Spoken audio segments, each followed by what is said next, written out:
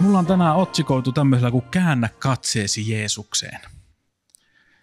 Tämä tulee laulusta, minkä mä olettasin, että on varmaan monelle tuttu, ehkä jo kaikille.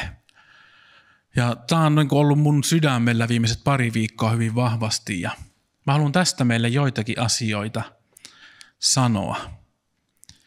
Ja ihan ensimmäisenä mä haluan mainita muutamia kysymyksiä, joiden ympärillä mä oon pyörinyt niin ehkä se auttaisi sua seuraamaan mun ajatuksen juoksua vähän paremmin, kun tiedät, minkälaisia pohjakysymyksiä mulla on ollut. Ja katsotaan sitten muutamia kohtia raamatusta. Mutta tässä näitä muutamia kysymyksiä. Mitä me katselemme? Mikä tai kuka saa aikaan muutoksen? Miksi me muutumme? Miksi tulee muuttua? Kenen tulee muuttua ja kuka voi muuttua? Onko väliä sillä, mitä me katselemme? Jos kerta Herran katsominen muuttaa meitä, miten käy, kun me katselemme jotain muuta? Millä tavalla muun katseleminen vaikuttaa meihin, jos se vaikuttaa ollenkaan? Ja mikä voi estää näkemästä Herran kirkkautta? Tällaisia pohjakysymyksiä mulla oli oli mulla niitä enemmänkin, mutta en mä ihan kaikkea ajatellut. Mä tähän luen, koska niitä voisi mennä tosi pitkään. Kaikki ne kysymykset, mitä mielessä rupesi pyörimään.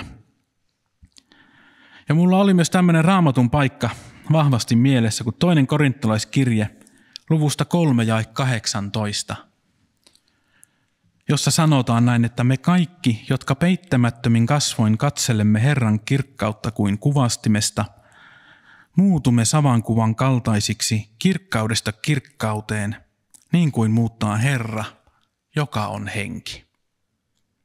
Tämä on ollut semmoinen perus, perusraamatun paikka, minkä ympärillä mä pyörin, minkä, mitä mä oon pyrkinyt vähän tutkailemaan ja rukoilemaan. Tässä raamattu lupaa meille, että kun me katselemme Herran kirkkautta, niin me muutumme. Ja mä ymmärrän näin, että tämä Herran kirkkaus on Kristus Jeesus, jota meidän tulisi katsella. Häntä katselemalla me muutumme. Tässä samassa paikassa mainitaan myös sitä muutosta aikaan ei saa ihminen itse, vaan henki, Jumalan henki, vaikuttaa minussa, kun mä katselen Kristusta. Mä haluan sanottaa ihan alkuun sen takia, kun tämä on, tämä on mun mielestä hyvin lohdullista tietä ja meitä rohkaisevaa. Kun me tiedä, saamme nähdä, että se muutos ei ole niinkään kiinni minusta itsestäni, vaan Jumalan hengestä. Totta kai sillä on vaikutusta, mihin me katselemme, josta me vielä tänään käymme läpi. Se on totta, että kun me katselemme Jumalan kirkkautta, niin me muutumme ja muutumme Jeesuksen kaltaisuuteen häntä kohti. Mutta meidän katse ei taho aina pysyä hänessä. Se valitettavaa kuin se onkin. Mä uskallan väittää, että jokainen meistä on kokenut sen, että katse välillä tippuu pois Kristuksesta. Se ei ole hyvä asia, vaan se on minun mielestäni faktaa. Näin meille vaan tapahtuu, kun me olemme ihmisiä. Kuinka monesti me helposti löydämme itsemme katselemasta omaa itseämme, sitä omaa kelpaamattomuutta, omaa heikkoutta, omaa riittämättömyyttä, omia lankeemuksia ja epäonnistumisia. Meidän katse jää helposti näihin kiinni. Mutta kuitenkaan näitä katselemalla me emme muutu. Mä voin katsella omaa epäonnistumistani maailman ajan tappiin – ja mä en koskaan muutu vain siihen kiinnittämällä katsettani. Se ei sitä, sitä anna sitä muutosta. No se on totta, että me olemme itsessämme heikkoja. Me olemme itsessämme syntisiä. Monella tavalla epäonnistuneita, pahoja, syntisiä ihmisiä. Se on totta Jumalan sanan pohjalta, kun katsotaan meitä ihmisiä. Mutta kun meidän uskovien elämä ei ole, tai se meidän uskovien elämän kiinnekohta ei tuliskaan olla siinä, mitä mä olen itsessäni, vaan meidän kiinnekohtamme tulisi olla Jumalan kirkkaudessa, Jeesuksessa Kristuksessa. Hän on, hänen tulisi olla se meidän keskipisteemme. Mä en sano sitä, että ei uskova tulisi tehdä parannusta, kun hän huomaa tehneensä syntiä. Totta kai joutuu ja tulee tehdä. Se kuuluu siihen meidän elämään. Vaan mä tarkoitan ennen kaikkea sitä, että se ei saisi olla meidän keskiössä, se meidän katseemme kohdistettuna siihen asiaan.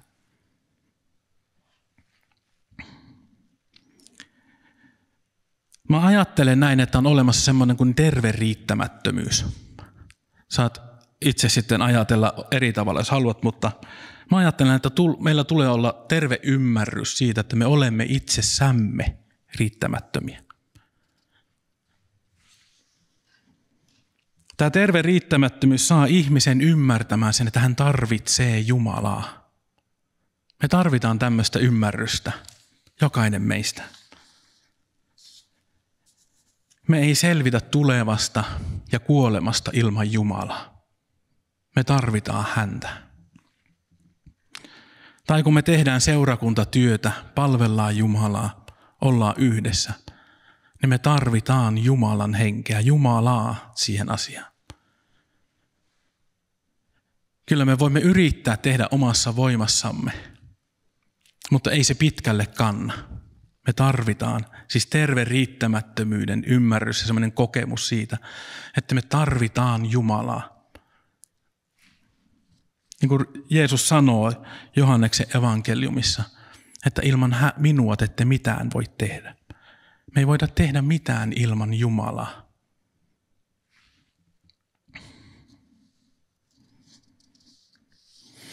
No tuossa raamatun paikassa mainittiin kuvastin. No mikä on se kuvastin, mistä me katselemme tänä päivänä Jeesusta Kristusta, Herran kirkkautta? Mä ajattelen näin, että se on ennen kaikkea Jumalan sana, kirjoitettu, raamattu. Tästä me ennen kaikkea näemme Jumalan kirkkauden. Jumalan sana kertoo meille sen, millainen on Jumala, millainen on Jeesus ja millaisia me ihmiset olemme. Täältä löytyy kaiken totuus. Mutta jossain määrin se tulisi myös näkyä seurakunnan keskellä. Kyllä meidän keskellä tulisi jollain tavalla ilmentyä Herran kirkkaus, että se Jumala on meidän keskellämme.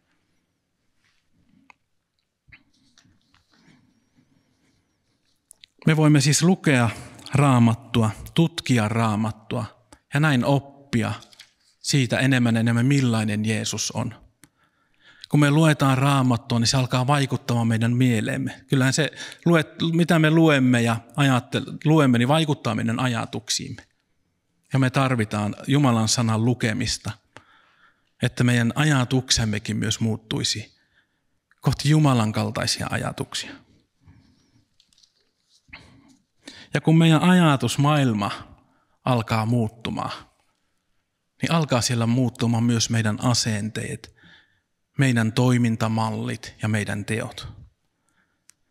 Ja kaiken tämän saa aikaan Jumalan pyhä henki, joka on meille uskoville annettu. Totta kai meillä kuuluu myös käytännön elämän ratkaisuja ja valintojen hetkissä tehdä niitä Jumalan sananmukaisia asioita. Me käytännössä toteutamme Jumalan sana.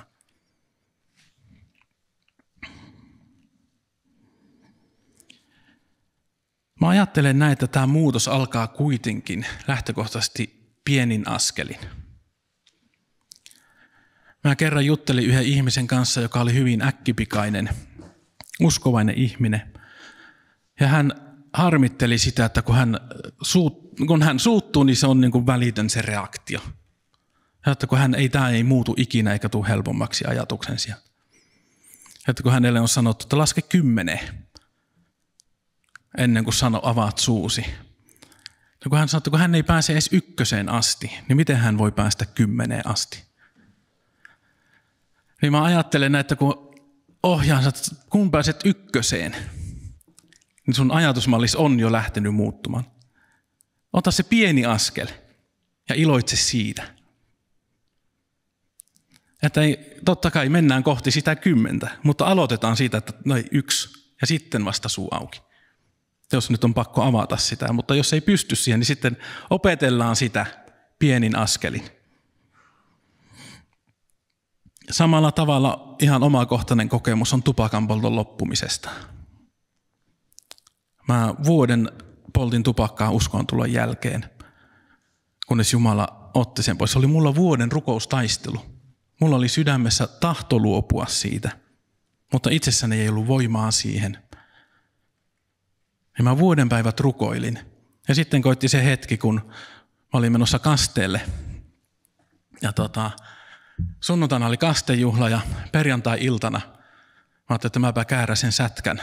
Ja mä olen ihan sata varma vieläkin, että mä olin ostanut sätkäpaperia. Ja mä en löytänyt sitä mistään. Ja yhtäkkiä mä havahdun polviltani, kun mä kaivelen sohvan alta sitä, että onko se siellä. Että jossakin sen on pakko olla, että mä oon hukannut sen. Ja mä kuulen sydämessä äänen, että ensin onko tupakki tuon arvosta. Ja mä sanoin, että ei. Ja mä oon tänä päivänä äärimmäisen kiitollinen. Mä koen, että se oli pyhä henki, joka mulle sanoi, että osoitti mulle, että mi- mihin mun tupakan halu mut mei. Niin mä könysin pitkin lattioita etsimässä sätkäpaperia, että saisin sen helpotuksen. Ja sinne Jumalan henki tuli. Mutta se oli mulla vuoden prosessi. Ja siitä mä oon äärimmäisen kiitollinen Jumalalle. Ja mikä mulle vielä vahvisti sitä, että se oli Jumalasta, kun mulla ei ollut minkäänlaista niin kuin tupakkiyskä tai himoa sen jälkeen. Ei kun tulee yle, aika, mä olen ennenkin yrittänyt, olin ennenkin yrittänyt lopettaa. Niin sitten alkoi hirveät ysk, yskäkohtaukset ja tervaa tulee keuhkoista, niin ei mitään. Näin vain unen siitä, että mä köhin semmoisen mustan pallon keuhkoista pois. Ja mä ajattelin näin, että se Jumala teki ihmeen mun kohdalla siinä, että keuhkot puhdistui. Mutta se on mun henkilökohtainen kokemus tästä pienestä askelista, siitä, että on sydämessä halu sille muutokselle. Sieltä se lähtee kuitenkin.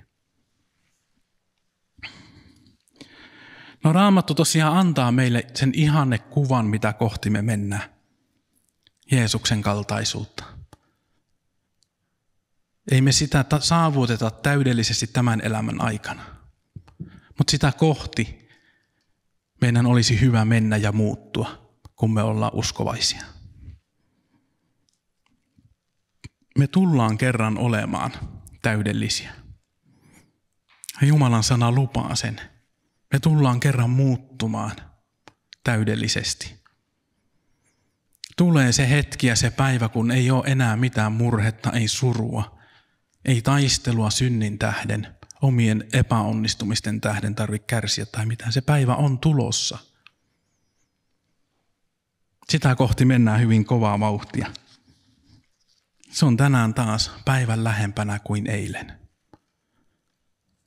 Ei voi mennä kuin päivä kerrallaan. Mä ajattelen, että tärkeintä ei ole se, miten pitkälle on päässyt tässä vaiheessa, vaan se, että se suunta on oikea. Suunta on se pääasia. Että se suunta ja katse on kohti Kristusta, Jeesusta ja hänen kaltaisuuttaan. Se on meillä pääasia. No toinen asia, josta mä mainitsin, että me nähdään, tai olisi ainakin hyvä jollain tavalla näkyä Herran kirkkaus, Jumalan läsnäolo, niin olisi seurakunta ja seurakuntayhteys. Täällähän se meidän keskellämme konkretisoituu, se mitä me katselemme. Kyllä se tavalla tai ilmi tulee, tavalla tai toisella tulee ilmi se, mitä mä olen katsellut seurakunnan keskellä tai toisten ihmisten kohdalla keskellä. Siellähän se konkretisoituu se, onko mä katsellut Jumalan sanaa, sitä kautta Jeesusta Kristusta, vai jotain muuta. Täällä seurakunnan keskellä me voimme tukea toisiamme, me voidaan auttaa toisiamme, rohkaista, nostaa ja kantaa, tarvittaessa nuhdella ja ohjata oikeaan, kun niitä tarpeitakin tulee. Ja tämän kaiken saa aikaan Jumalan pyhä henki. Jumala ei ole ketään meistä tarkoittanut olemaan yksin uskovana. Hänhän on tarkoittanut olemaan meidät yhdessä seurakuntana. Olemaan Jumalan lapsia, olemaan veljiä ja siskoja keskenämme. Tämä Jumalan lapseus ja Jumalan perheenä oleminen on monella tavalla puhutellut mua. Ja se ajatus siitä, että mitä se olisi tai tulisi olla. Ei siihen mulla vastauksia ole, mutta sitä voi jokainen miettiä tykönänsä. Minkälaista voisi olla Jumalan perhe, perhetoiminta ja miltä se voisi näyttää. Tämä muutos on saanut alkunsa silloin, kun me ollaan tultu uskoon. Sillä on lähtöpäivä. Sinä hetkenä, kun me synnyimme Jumalan perheväkeen. Me olemme nyt uusia luomuksia Kristuksessa. Ei, ei aina tunnu siltä, eikä aina näytä siltä. Mutta kun tämä ei ole kysymys meidän tunteista, ei siitä, miten mä itse edes katselen asiaa, vaan kyse on Jumalan sanan lupauksesta. Jumalan sana sanoo, että me olemme uusia luomuksia Kristuksessa, kun me ollaan tultu uskoon. Voiko se uusi luomus saisikin aina olla valloillaan itse kunkin meidän elämästä? Puhun ennen kaikkea itselleni. Mutta jokaisen meidän elämässä, kun se uusi luomus saa vahvistua, niin siitä tulee hyvä.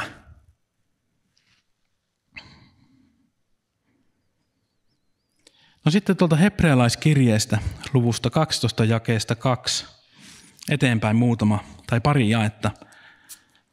Ajatuksena vain siitä, että mikä voi estää tätä Kristuksen kirkkauden näkemistä.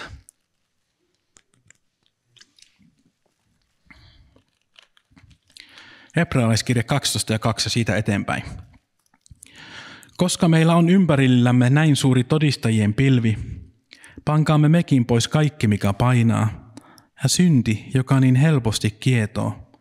Juoskaamme kestävinä kilpailussa, joka on edessämme, katse kiinnitettynä uskon alkajaan ja täydelliseksi tekijään, Jeesukseen, joka edessään olevan ilon vuoksi kärsi ristin häpeästä välittämättä ja istuu nyt Jumalan valtaistuimen oikealla puolella.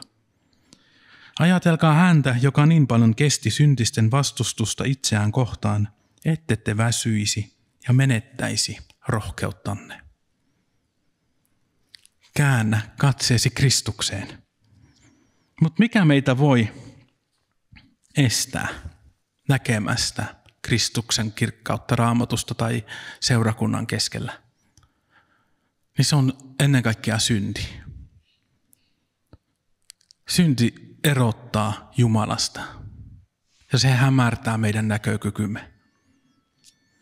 Sitten tässä sanottiin, että laittakaa pois kaikki, mikä painaa. Mä ajattelen tähän myös sitä, että mikä, kun mä katsen itseeni, niin se on se, mikä mua painaa. Että katse pois sieltä omasta itsestä kohti Kristusta. Uskomme alkaja ja täydelliseksi tekijää. Tämä elämä on meillä ihan riittävän haasteellista muutenkin, että jos mä katson koko ajan itseeni, niin kyllä siitä tulee äärimmäisen raskasta. Kun on täällä muutenkin haasteita. Ja uskallan sanoa sen, että mä puhun ihan omasta kokemuksesta. Mulla on taipumus olla äärimmäisen pessimistinen. Plasi on aina puoliksi tyhjä vähintäänkin. Mitään hyvää ei koskaan tule. Mutta on semmoinen asia, mistä Jumala on, mun, Jumala on tehnyt työtä minussa ja minkä kanssa mä oon saanut itse painiskella. Katse pois niistä, miten mä sen sanoisin,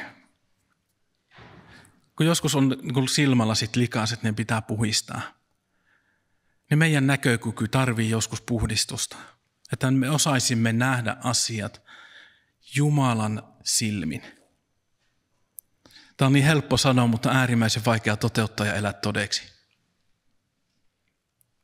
Mutta me tarvitaan pyhän hengen työtä meissä, jotta me kestäisimme tämän elämän ajan ette te väsyisi ja menettäisi rohkeutta. Ja kun me saadaan katse pois sieltä omasta itsestä kohti Kristusta, niin kyllä meidän vaelluksemme käy kepeämmäksi. Me saamme iloiten kulkea kohti taivasta, uutta taivasta ja uutta maata. Ja jotenkin mä koen, että tämän erityisesti tänä aikana on vaikeaa pitää katsetta Jeesuksesta. Kun miettii, että tässä on kaksi kovaa vuotta takana, kun miettii korona-aikaa ja mikä nyt on maailmassa tilanne, niin se haastaa meidän katsettamme, mihin me olemme kiinnittäneet sitä ja mihin me sitä kiinnitämme. Ja mä ajattelen, että tänä aikana erityisesti meidän uskovien kanssa tulisi nostaa Kristukseen Jeesukseen. No mennään tuonne ilmestyskirja 1 ja 5. Ja siitä sitten vielä muutama asia. Ilmestyskirja 1 ja 5 sanoo näin. Jeesukselta, Kristukselta, uskolliselta todistajalta, joka on esikoisena noussut kuolleista ja on maan kuninkaiden hallitsija – Hänelle, joka rakastaa meitä ja on verellään päästänyt meidät synneistämme. On maan kuninkaiden hallitsija. Tämä oli semmoinen lausadus, mikä muut pysäytti jo vaan sitten viikko sitten, kun mä mietin tätä maailman tilannetta. Että voi kun osais nähdä tämän aina. Että Jeesus on kaiken yläpuolella tänäkin päivänä. Tänä päivänä Jeesus on valtaistuimella. Hänellä on edelleen kaikki langat käsissään, vaikka meistä näyttää nyt aika pahalta. Sanon nyt näin. Mutta Jeesus on edelleen valtaistunut. Ei Jeesus ole sieltä pois lähtenyt tai ei häntä ole tiputettu pois valtaistuimelta. Hän on edelleen siellä. Hän on edelleen kuninkaiden yläpuolella. Tässä nykyisessäkin maailmantilanteessa. Näin sana meille ilmoittaa. Jokainen hallitsija joutuu tekemään Jumalalle tiliä toimistaan. He joutuu vastuuseen siitä, miten he hallitsee kansaa, kansaansa ja valtiotaan tai muita asioita. Niin kuin jokainen ihminen aikanaan. Mutta myös hallitsijat. Jumala ottaa kiinni teoistaan, sanoistaan ja toimistaan.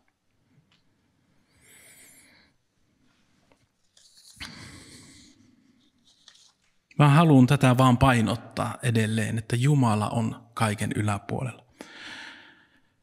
Kun tämän osaiskin nähdä koko ajan, tämä on semmoinen mun rukous ollut nyt, että Jumala voisi auttaa meitä nostamaan katseemme Jeesukseen Kristukseen. Näkemään hänet siellä hallitsijan paikalla. Ja kun tämän asian pääsee ymmärtämään, tai pikkusenkaan ehkä vähän enemmän valotusta siihen, niin mä uskon, että se auttaa meitä jaksamaan ja kestämään, olemaan kestäväisiä tässä uskoelämässä. Edelleen meillä on taistelu. Ei lihaa ja verta vastaan, vaan henkivaltoja vastaan. Meillä on oma sisäinen ristiriita ja tässä on ihan paljon taisteluja meillä. Mutta me tarvitaan se ymmärrys, että Jeesus on hallitsija, todellinen kuningas. Mutta Jeesus ei ole vain kuningasten kuningas, vaan hän on meidän lunastajamme, meidän sovittajamme.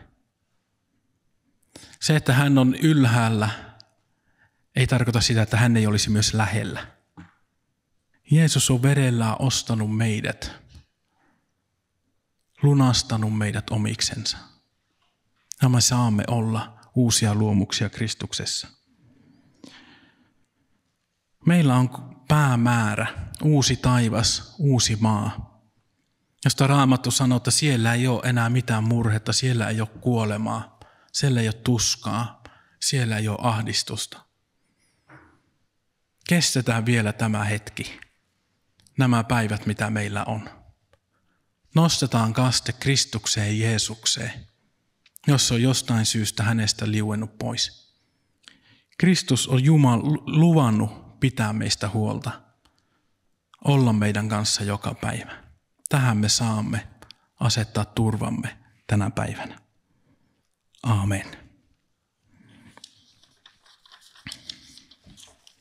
Rukoillaan tässä lyhyesti ja mennään sitten eteenpäin.